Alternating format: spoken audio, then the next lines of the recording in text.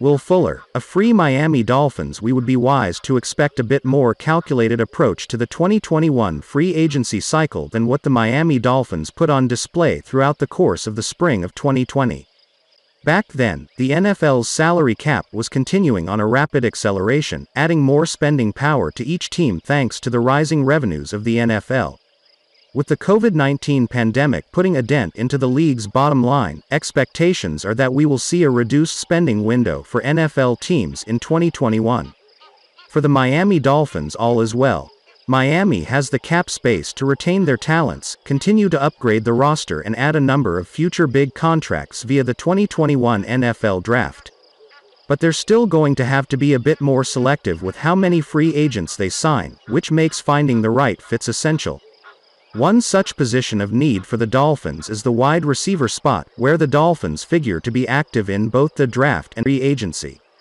Finding the right pieces of the puzzle will be big here to boost the passing offense, and you won't find many receivers more capable of generating big plays than Texans wide receiver Will Fuller.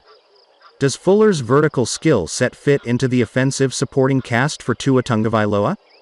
And could the Dolphins dare to make a big dollar signing like what Fuller will cost? Fit in Dolphins' scheme. Miami, under Chan Gailey, ran an offense that was largely dependent on the quick passing game, but the team had few options to win after the catch. Fuller isn't a big YAC guy in the short game, but he collects plenty of yards after the catch playing vertically and winning over the top. There's a chance that Miami could covet that ability given Tagovailoa's experience in a vertical passing offense under Mike Locksley in 2018. Trent Dilfer, who has worked closely with Tua Tagovailoa thanks to the Elite 11 program, described Tagovailoa as the best four verticals passer Haas ever seen. And yet Miami rarely ran the verticals concept in 2020. Fuller wins to that area of the field. So many a fresh option in the vertical game with plenty of speed, Fuller ran 4.33s in the 40-yard dash, is just what this offense needs.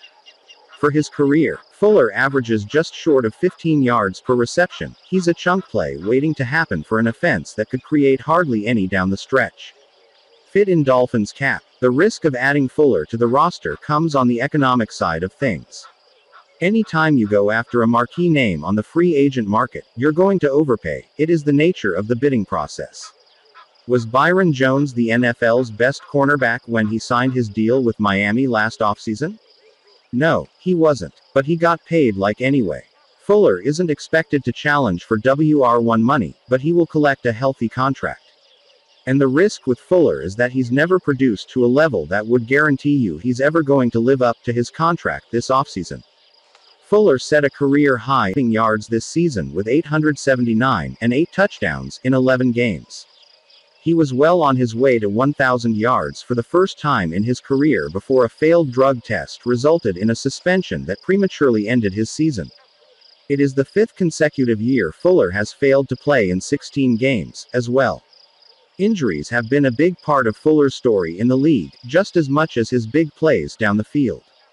So you're talking about a wide receiver who is coming off a PED suspension, has never played in 16 games in a season in 5 tries and has never logged a 1,000 yard season in his career.